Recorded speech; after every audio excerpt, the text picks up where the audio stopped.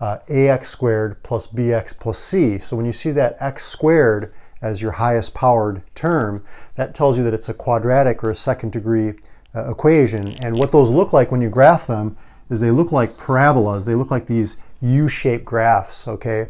And what you're doing when you set this equal to zero is you're actually looking at, you know, where the graph crosses the x-axis. That's where the y-coordinate is equal to zero. So sometimes when you solve these problems, there's a lot of different ways to do it. You can complete the square, you can graph the parabola and see where it crosses the x-axis. You can factor it and set the factors to zero. But sometimes, especially with that last example, the factoring might be might be very difficult or might just not be able to be factored with integers. And so this is another um, possibility that you can use to solve these equations, and it's called the quadratic formula, okay? And so you can see here it's x equals negative b plus or minus the square root of b squared minus 4ac all over divide, all divided by 2a, okay? So what you can see here too with these parabolas is that sometimes you're going to get two solutions. Sometimes you're only going to get one solution where it just touches at the vertex there. And then sometimes you're even going to get where it doesn't cross the x-axis at all and there's no solution. And basically what these correspond to is that, you know, if this quantity here comes out to zero, you're just going to have negative b over 2a.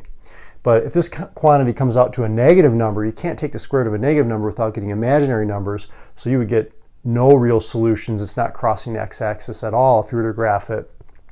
And then if it's uh, positive, this quantity here, the b squared minus 4ac, uh, then you would have two solutions. So let me show you what I mean. Let's get into some examples. So this first one here, you can actually factor this one. But let's just go ahead and uh, take a look at it. So you can see the a value is 1, the b value is 1, and the c value is negative 12. So you want to write it in descending order like that. So you can identify the A, B, and C, and you want to set it equal to zero. Okay, so if we do our quadratic formula right here, we've got negative B, or the opposite of B, which is negative one, plus or minus the square root of one squared, minus four times one times C, which is negative 12. You want to make sure you capture that negative sign, that minus sign as a negative, all divided by 2 times 1. So all we have to do now is simplify so what we have here is negative 1 plus or minus the square root of, let's see, this is going to be 1 minus a negative 48. Okay, all divided by 2. Now when you subtract a negative, it's like adding a positive. This becomes 49, and the square root of 49 is 7. So there you go. Now we have two problems. We have one where you're adding and one where you're subtracting. So negative 1 plus 7, okay, equals 6 divided by 2, which is 3.